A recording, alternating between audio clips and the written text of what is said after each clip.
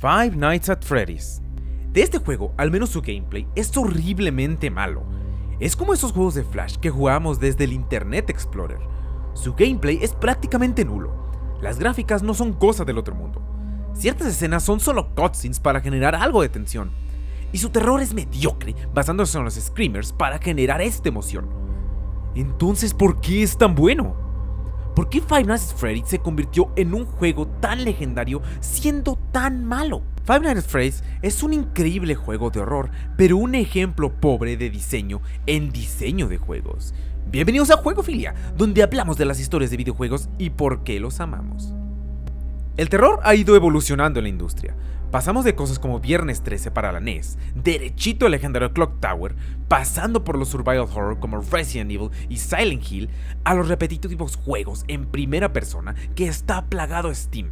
No es que estos juegos sean malos, pero pasa algo curioso con ellos, y es que es muy difícil mantener el horror. El jugador se acostumbra al gameplay, y conforme avanza el juego, este se vuelve repetitivo, y si no está claro a dónde hay que ir, se vuelve frustrante y aburrido, llegando al punto de enfadar. Five Nights at Freddy tiene algo diferente, al menos hablando en cuanto a la historia. Cada juego toma lugar en un periodo diferente, y todos los juegos siguen la misma fórmula, y esa es la razón por la que el juego puede hacer cambios sutiles en el gameplay. El primer juego se basa en controlar el poder de la habitación y ciertas pistas visuales para poder sobrevivir, y en las entregas posteriores se utilizaron cosas como el sonido y otras cosas para manejar. Esto hace que no importa qué juego tomes de esta franquicia, puedes empezar de cero. Solo porque seas un maestro en evitar a Freddy's en el primer juego, no quiere decir que puedas llegar al cuarto de la misma manera.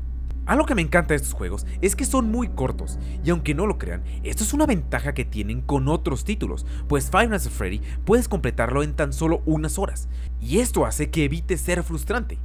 Y ahora, hablando del gameplay, ¿recuerdan los juegos para Flash como The House, The Cellar Door, Silent Hill 304? Bueno, prácticamente podríamos decir que estos juegos fueron la base que se tomó para hacer el tan aclamado Five Nights at Freddy's. El gameplay, al menos en estos primeros títulos, era mediocre, Incluso me atrevería a mencionarlo como un point and click, con un par de cutscenes que servían como jumpscares. Un escenario en el cual no podías moverte, que se usa para ahorrar costos y evitar diseñar los escenarios en 3D. Y ciertos eventos especiales, ciertas escenas que se activan para generar variedad. La fórmula ya estaba escrita, sonidos random, el uso de ciertos puntos y la oscuridad, además de su pobre gameplay, ayudaban a crear esta situación de claustrofobia en la cual nos vemos atrapados. Y aunque los robots se mueven, estos no son más que animaciones preprogramadas, pero sus diseños son muy distintos y únicos, como nunca se había visto en otro juego, y tan recordables como Ghostface, Jason y Freddy Krueger. ¿Podríamos verlos en el próximo Dead by Daylight? Ojalá que sí. Aunque realmente podríamos decir que el juego no destacó tanto por su gameplay, sino por su historia. Si somos honestos, Five Nights Freddy tiene un lore que aunque no es profundo, es sumamente misterioso y da miedo, algo que muchos juegos, incluso en nuestros días, logran batallar para salirse de la caja y saber transmitir horror real a través de sus historias. Aunque realmente para averiguar este terror teníamos que prestar atención a todas las pistas que nos daba el juego, como las conversaciones del guardia e incluso leer los libros y sobre todo prestar mucha atención a lo que sucede y hasta lo que no sucede. En un pequeño juego de tan solo dos horas de duración, llegando mucha gente a teorizar acerca de este juego. Y ahora, la historia es muy buena, pero el juego se mantenía únicamente por su gameplay. Como dije antes, este es realmente monótono, pero sumamente tenso. A diferencia de muchos juegos donde la fórmula está reciclada, y no quiero comenzar a apuntar el dedo, pero ustedes saben de qué títulos hablo. Juegos como Outlast, La Bruja de Blair e incluso Resident Evil 7 y en adelante tienen esa fórmula de la cámara en primera persona, que sí agrega mucha atención al gameplay, poniéndonos en los zapatos del protagonista. La gran diferencia es que ahora nos sentimos como un pájaro en una jaula esperando que nadie entre en nuestra zona segura para hacernos daño. Literalmente, estamos a la expectativa de que las cosas vengan por nosotros, y si nos quedamos sin energía o sin recursos, sabemos perfectamente que el final está cerca, y no hay forma de defendernos como en los anteriores títulos. Nos hacen sentir como una presa. Ahora la parte importante, ¿cuál fue realmente la razón por la que el juego tuvo la popularidad que tuvo? Ya lo dijimos, no fue el gameplay, aunque es muy innovador con cada entrega. No fueron las gráficas. ¿Pudo ser la historia? Pero no fue un factor decisivo. Entonces, ¿cuál fue la razón? Créanlo o no, la razón se debió a los streamers. Personas como PewDiePie, Rubius, Markiplier y muchos cientos más son la razón del éxito de este título. Era prácticamente otra era dorada de YouTube, específicamente en el ámbito gamer, como lo fue en Minecraft.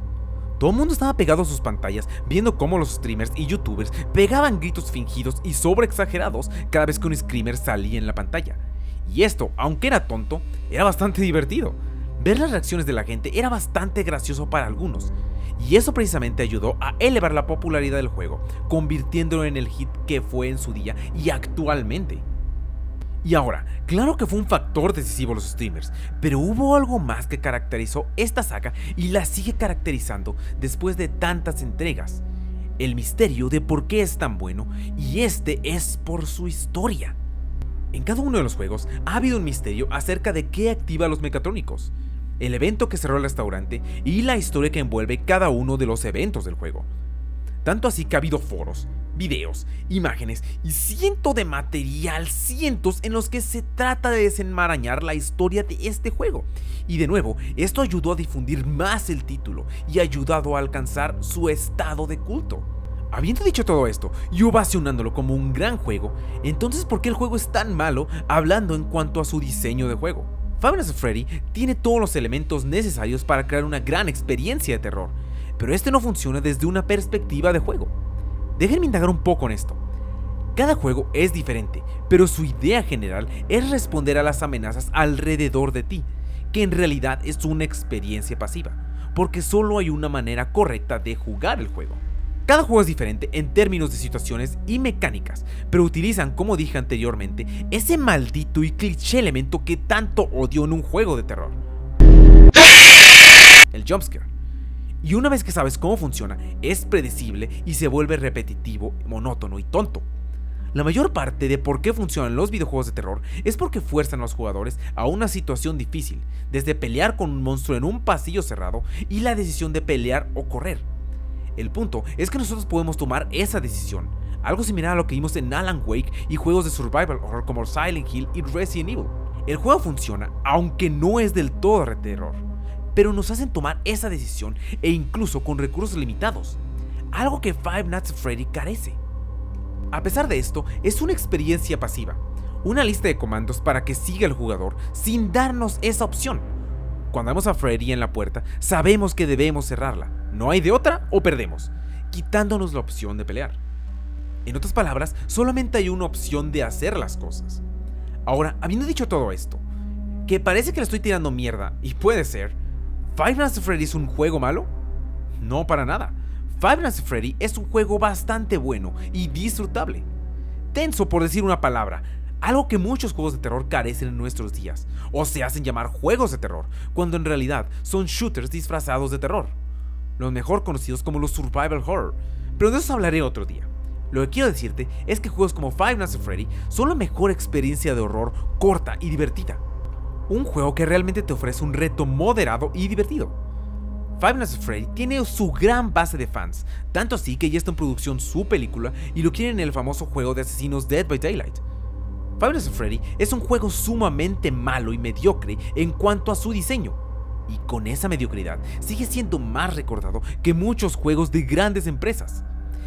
El mensaje, el mensaje del juego es simple, menos es más.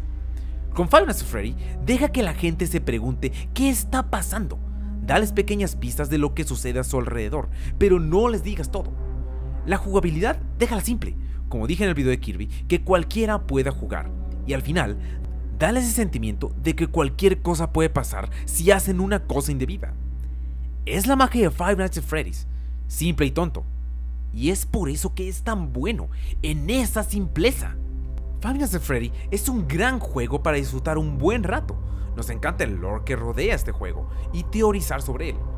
El nuevo juego cambió la fórmula, pero no quiere decir que sea malo, solo están tratando de reinventarse para ganar otro tipo de público, o para refrescarse, o por qué no, que sea mucho más interactivo.